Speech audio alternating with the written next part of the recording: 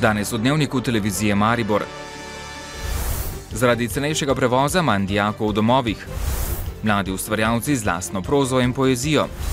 Mariborski rokometaši kljub porazu napredujejo. Z nenavadnim plesom do prepoznavnosti. Novice Štajerske, Pomurja in Koroške ob 18.